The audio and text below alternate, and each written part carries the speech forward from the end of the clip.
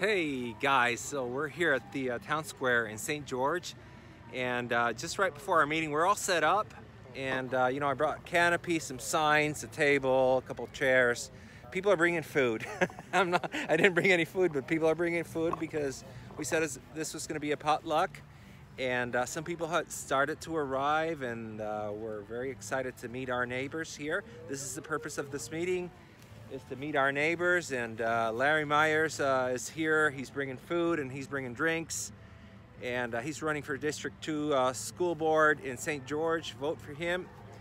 And uh, we're going to talk about the things that we need to do to uh, preserve our rights. But mostly we want to get to know our neighbors. And hey, Larry, Larry, come over here. Let's interview here. Larry Myers running for District 2 School Board in St. George. so Tell us a little bit. What, what do you want to say to the people?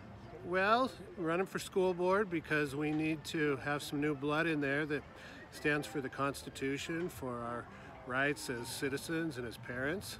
And so we're looking forward to that opportunity to serve. My platform issues are, are really important to me. I think we need to have local control of our schools.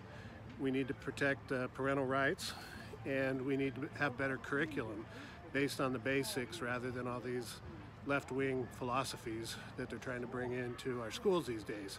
So if you live in Bloomington, Tonaquint, downtown St. George, uh, the Middleton area, uh, Winchester Hills, Diamond Valley, that's District 2. It's kind of like on TV.